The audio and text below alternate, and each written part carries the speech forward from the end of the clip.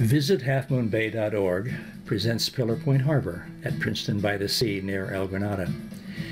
We left off previously looking out at Mavericks beyond the breakwater and back to the inner breakwater of the harbor by Barbara's Fish Trap on Capistrano Road.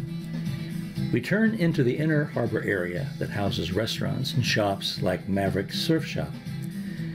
We get our first look at the boats docked in the harbor across from the anchor restaurant Princeton Seafood Company with inside and outside seating plus a popular fish market.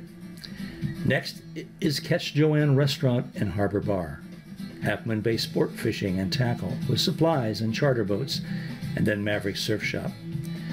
Across the entrance to the harbor, we can see Half Moon Bay off in the distance, and the Half Moon Bay Kayak Company is right there renting kayaks for touring the harbor or going out to sea beyond the outer breakwater.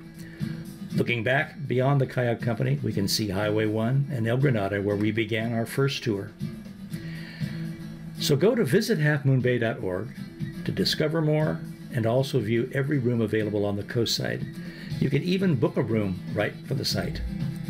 There's a link to the site in the description below, and you can also subscribe to receive notice when we upload a new video.